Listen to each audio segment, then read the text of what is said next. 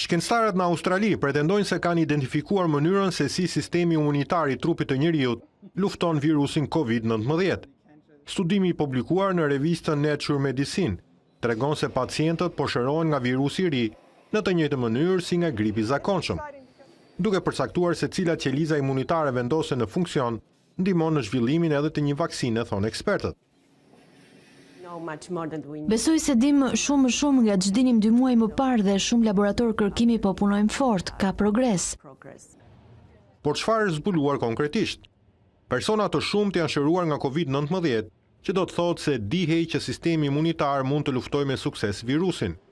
Por për herë të parë hulumtimi identifikoi katër lloje të qelizave imune, të cilat u shfaqën duke luftuar Covid nëntëmbëdhjetë. Studimi u përqendrua tek një paciente që vinte nga Wuhani i Kinës, epiqendër e përhapjes së koronavirusit të ri. Dyzet e shtatë vjeçarja u shërua brenda katërmbëdhjetë ditëve, por tre ditë para se të niste të përmirësohej, disa qeliza specifike u shfaqën në qarkullimin e gjakut. Në pacientët me grip të zakonshëm, të njëjtat qeliza shfaqen në këtë periudhë të shërimit, shprehen studiuesit.